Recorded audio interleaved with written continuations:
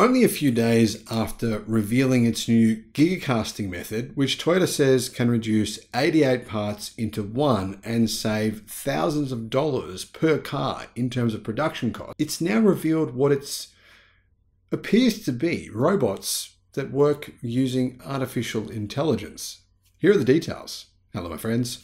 Welcome to the channel. Great to see you. Thank you for tuning in. I'm Sam Evans, and you're watching The Electric Viking. Robots have not quite yet been able to be programmed to be like humans, as in able to learn like a child. That's artificial intelligence. That's what Tesla is working on with its neural networks, with its Dojo supercomputer. Teaching robots is usually today code intensive work, but Toyota has found a way to allow a human to show a robot to perform a task which it can then repeat. This is sort of like a limited version of artificial intelligence in robotics. Incredibly, this is actually quite impressive if it's in fact true.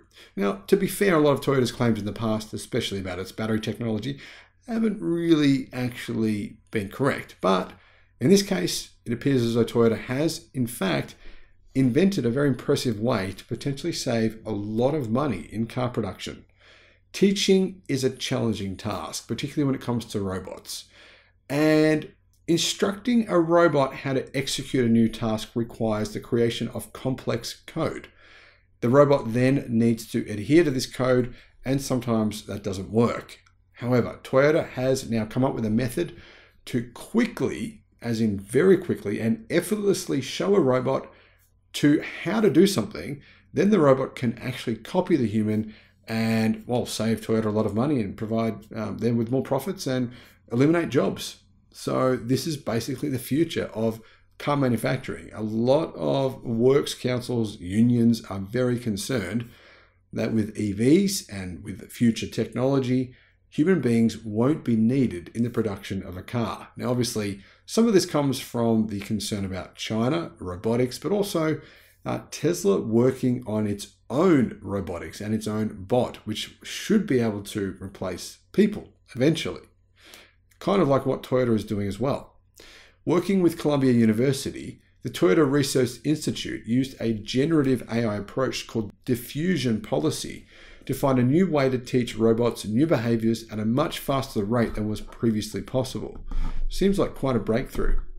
The tasks that I'm watching these robots perform are simply amazing. Even one year ago, I would not have predicted that we were close to this level of diverse dexterity, said Russ Tedrake, the VP of Robotics Research at TRI.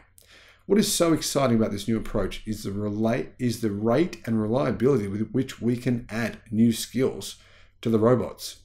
The technology requires a human, says carscoops.com, to use a telerobotics kit to show the robot how to perform a task using levers and handles that provide the human with haptic feedback of what the robot is feeling, the person can effectively control the robot directly. According to insiders who have seen what's been happening, Toyota's researchers now can teach a robot new behavior in a single afternoon. This allows the robot to learn through the night and witness the robot's flawless execution of the new task in the following morning. Apparently, this is happening now. It's actually quite impressive, I have to admit. Because these skills work directly from camera images and tactile sensing, using only learned representations, they are able to perform well even on tasks that involve deformable objects, cloth, and liquids, all of which have traditionally been extremely difficult for robots to perform. Working in the same way or a similar way as the large language models that power conversational artificial intelligence, the technology has already allowed Toyota to teach its robots more than 60 difficult skills that require high amounts of dexterity. This is coming as quite a shock to the industry. I don't think anyone realized just how impressive uh, Toyota's new robotics technology actually is. These expand beyond the pick and place tasks that similar robots were previously capable of. They include pouring liquids, using tools, manipulating deformable objects, and Toyota hopes to teach the robots hundreds of skills by the end of the year, at least 1,000 by the end of 2024 and thereby be able to possibly eliminate half of its workforce. Now, Toyota haven't said that publicly, of course. But considering the fact the company has 190 billion US dollars in debt, more debt than any other company in the world, uh, that debt is primarily bad debt. And Toyota is currently not making EVs seriously. I mean, 0.3% of their production last year was electric. This could possibly help save the company. While it does not specify exactly what the technology or the robots will be used for, the addition of dexterous robots that can be easily taught new skills will, of course, be deployed at Toyota's many manufacturing plants around the world within the next two years. Our research in robotics is aimed at amplifying people rather than replacing them, said Jill Pratt, CEO of the Toyota Robotics Institute and chief scientist for Toyota Motor Corporation.